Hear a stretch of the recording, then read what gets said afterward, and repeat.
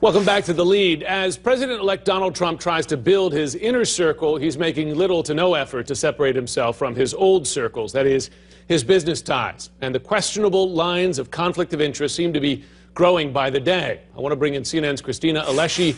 So, Christina, Trump does not seem to be just toeing the line of conflicts of interest as he defined them during the campaign himself. He, he seems to be setting himself up for crossing these lines wholesale as president.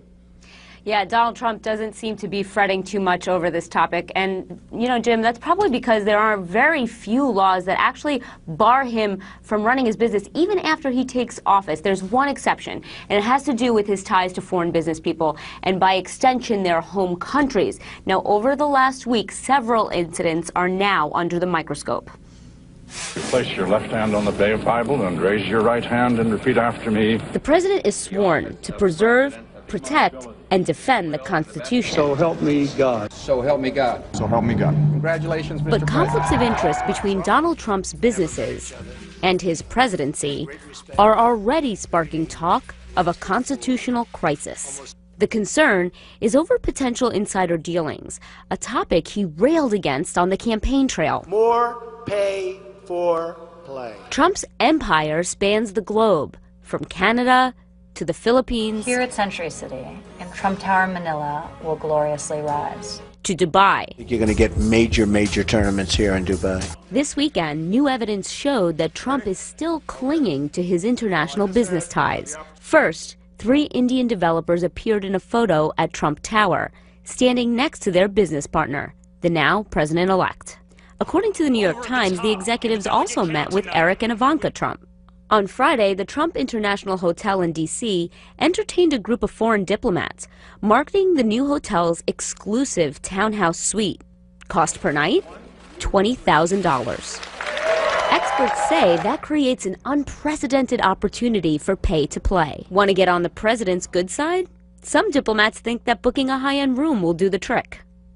Finally, the Post reported that since the beginning of his presidential campaign, Donald Trump has launched eight companies in Saudi Arabia, possibly tied to a new hotel. That's only part of a larger international portfolio. Trump's companies do business in 18 countries, according to the Post. Ethics experts question Trump's holdings. Every time that uh, he has an engagement with a friend or a foe internationally in a place where he has uh, an economic interest, the question arises uh, how are his personal financial interests potentially conflicting with the national interests of the United States? Trump's chief of staff says the White House will uh, police itself. And I think that while it's unique, it's certainly compliant with the law. And obviously, we will comply with all of those laws. And we will have our White House counsel review all of these things. And that White House counsel is going to be very busy. Jim, most of my sources say that lawmakers aren't going to immediate, immediately investigate the conflicts of interest. After all, Republicans control the Congress, so there's no political motivation there. But lawmakers will have to monitor the situation, and so far, Trump wants to hand control of his businesses to his children. But in order to completely avoid scrutiny, he's going to have to sell most of his holdings and probably have to start with his international ones. Jim?